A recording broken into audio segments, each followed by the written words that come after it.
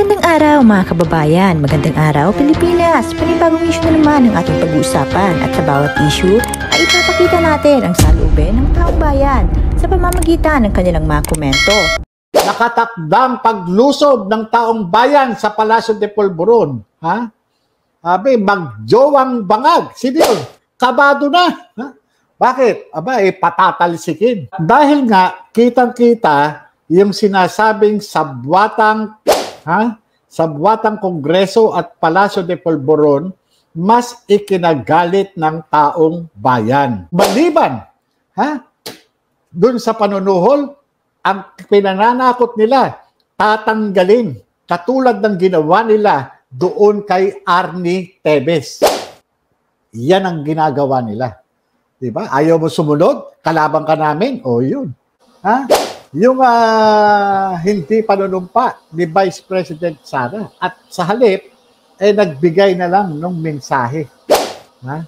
Eh, para silang pinagsampal-sampal ng sapato sa mukha eh.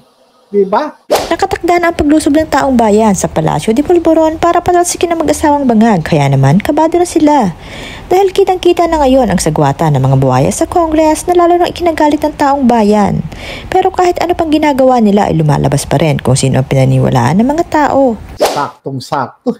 Talagang para silang sinampal ano, ditong si Vice President Sara Duterte. Ha? At ginagawa nyo lang ito hindi para doon sa ano no uh, inquiry in aid of legislation, kundi para sa preparation ng ano, impeachment proceedings. Yan. Dahil nga, kitang-kita yung sinasabing sabwatang, ha? Sabwatang Kongreso at Palasyo de Polvoron mas ikinagalit ng taong bayan. Yan. Bangag, tamba at jahas, kabado na. Bakit? Salapi ng taong bayan ipinamudmod sa Kongreso. Yan. Eh bakit nga ba pinamumudmod? Ha? Pag kinakabahan, aba namimigay ng pera. Ha? Oh, 'di ba? Ito yung mga indicator na natatakot sila na mawalan ng kakampi. Takot sila eh. Takot silang mawalan ng kakampi. Kaya alam na alam nila, karamihan diyan ha, na nandyan sa mga miyembro ng House of Representatives ay ano, mga hayok sa pera. Mistula itong mga buwaya. Kaya nga ang tawag eh.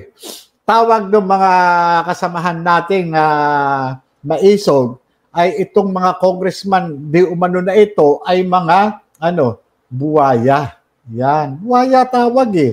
Oh, ano ang dapat sa mga buwaya para kumampi, umamo sa kanila? Ay binubusog. Ha? Binubusog sa pera. Yan. Binubusog ng mga ito sa pera.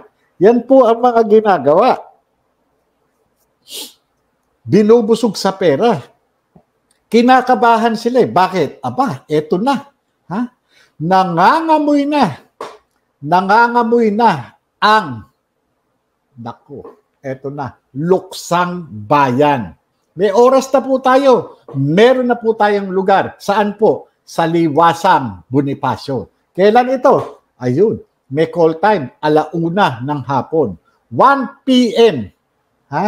1 p.m. po at tayo ay maggayak-gayak na sapagkat ilang araw na lamang po. Yan, ilang araw na lang.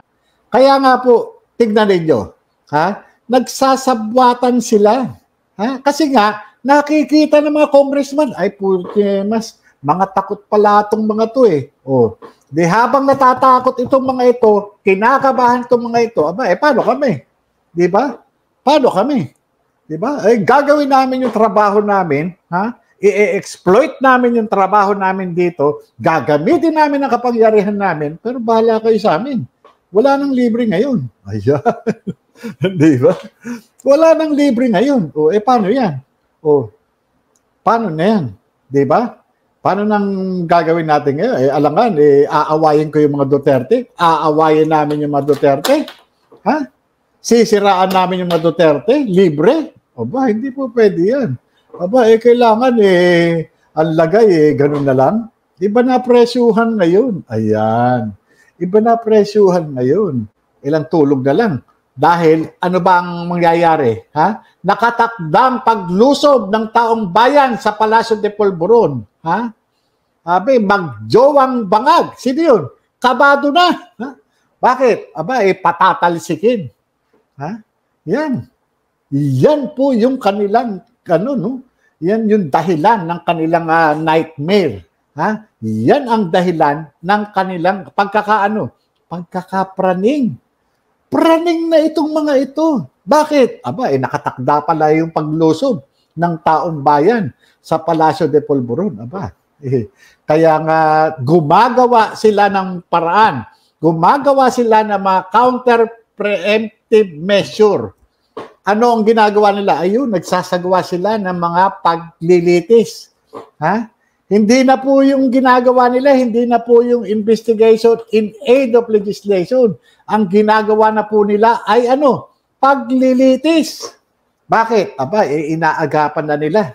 Ha? Tinatakot-takot na nila itong mga ano. Oh, ayan, no?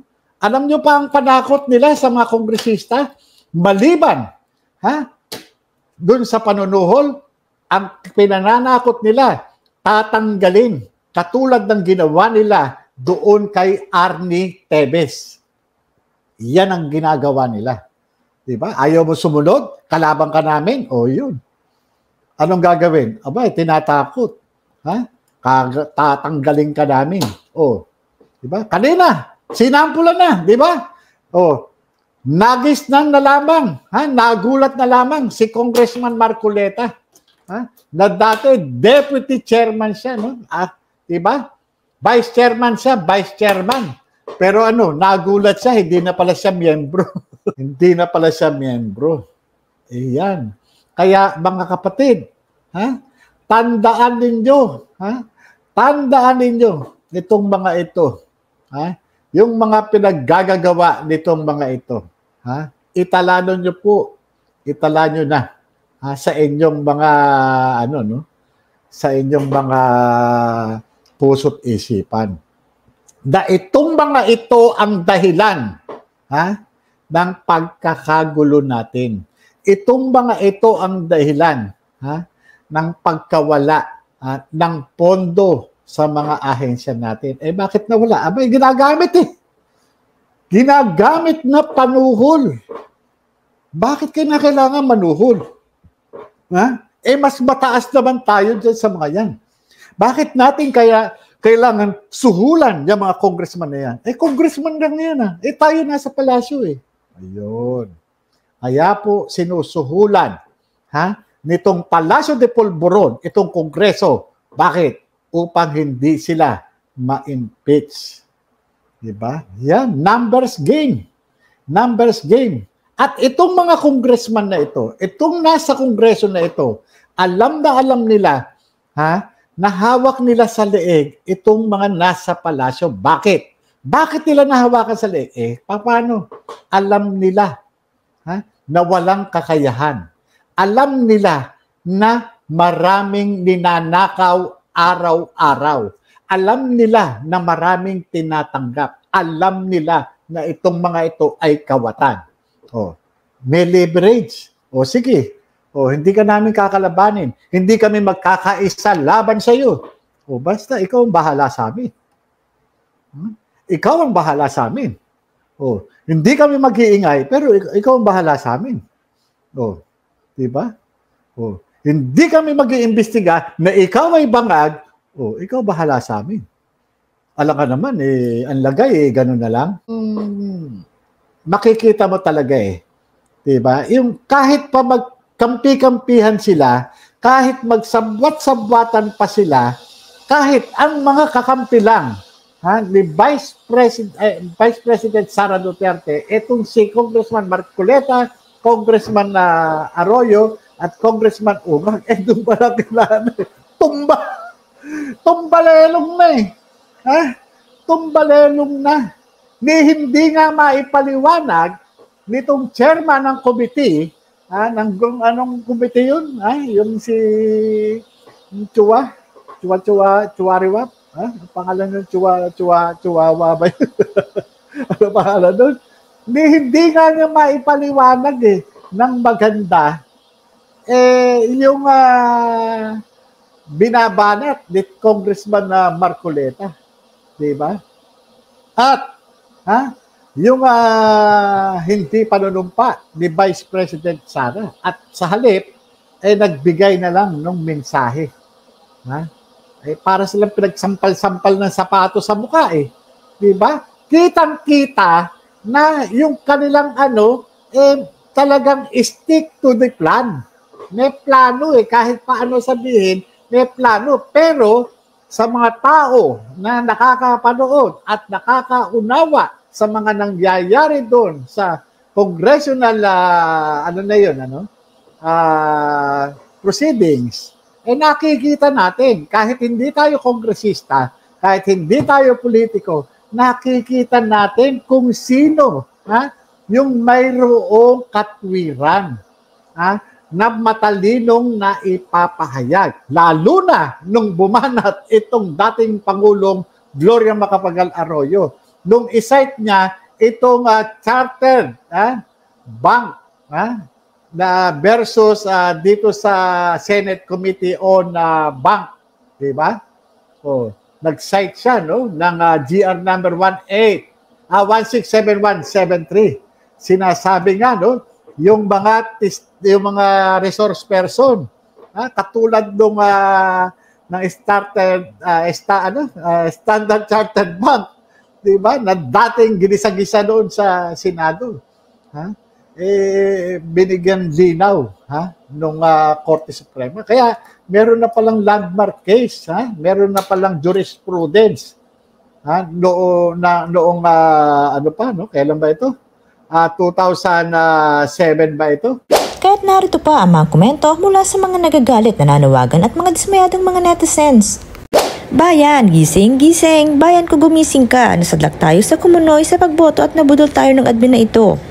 Lumabas lahat tayo at magkaisa na at pababain, palayasin ang mga demonyo, ulupong, ahas, nakaupo sa palasyo. Go, go mga kababayan. Marcos Bangag, resign na. Wala kang karapatang mawalagi sa Malacanang. Nakakahiya ka sa buong mundo. Huwag mo nang idamay ang mga Pilipino sa pagkapulboronic mo. Kapal ang mukha mo. Resign, Pulboronic Marcos, resign. Instead na i-address ang problema ng bansa na gawa nila, wala nang ginawa ang gobyernong ito kundi taniman ng kaso ang mga taong sumasalungat sa kanilang baluktot na pamamalakad. Sa buong buhay ko, ngayon lang ako nakakita ng gobyernong ganito ka-wars at hindi malasakit sa bayan ang layunin kundi ang manatili sa kapangyarihan at pagkamkam pagwawaldas ng salapi ng bayan. Hindi talaga yan mag-resign kasi hindi naman siya ang namumuno bilang Pangulo ng bansa, kundi yung asawa niyang palaka naghahaman sa kapangyarihan. Dapat ang gawin dyan, magkaisa ang taong bayan na paalisin sila. Hindi na yan sila magbabago. Kailanman, ganyan na talaga sila. Matanda na eh. Kaya hablutin na yan sila para matapos ang problems at maging maunlad naman tayong bansa. Dapat taong bayan ang sugurin, malakanyang, nili sa impacta at atiktador and their asos. Talagang galit na galit na kaming taong bayan ang tabay lang sa marcha at masa sa EDSA. Parang walang matino sa gobyernong ito, lahat ng nakasentro, paano kumita sa pera ng taong bayan? Nakakalungkot, di kayang banggain ni Bangag, paano under sinalist smugs? Maliwanag pa sa pulmon, talamak ang mga tambaduslos sa BBM admin, masahol pa sa dilawans. Yan ang kahinaan ng gobyerno, gagamitin ang kaba ng bayan para lang sa paglutas ng problema na hindi nila kayang solusyonan. Dati, mga adik hinahabol, ngayon, mga adik ang nanghahabol. Kailan pa tayo kumilos para mag people's power para hindi mahuli ang lahat?